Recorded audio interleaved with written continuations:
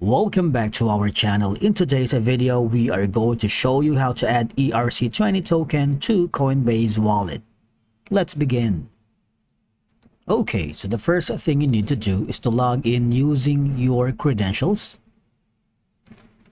If this is your first time in Coinbase, just click on the sign up option.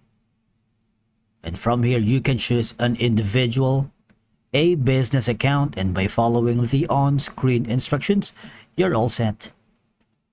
Now, by adding ERC20 tokens to your Coinbase wallet, you can diversify your cryptocurrency holdings beyond the assets available on the Coinbase exchange.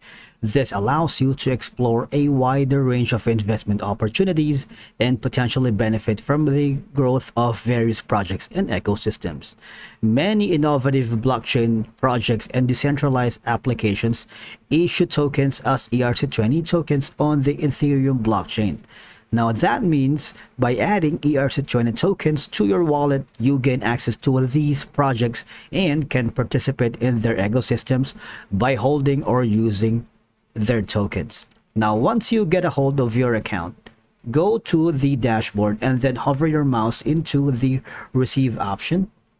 And from here, when you hover your mouse or the hand section on the uh, eye icon, it says something like use for receiving tokens and NFTs on Ethereum, Base, Polygon, Avalanche, and other compatible networks, right? So that means ERC20 tokens are also issued in the Ethereum blockchain, right? So basically, you can use the ETH wallet address to receive any ERC20 token, right? If that's clear, all you have to do now is go to this section. Now, the most important part is all you have to do is click on the copy to clipboard. And if you want to see your Ethereum address, click on it, right? click on copy.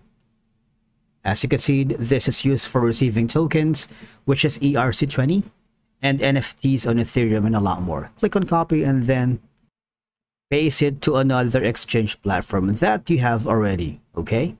Now, if by any chance you encounter any problems adding ERC20 token to your Coinbase wallet, all you have to do is go to the help section and click on Coinbase.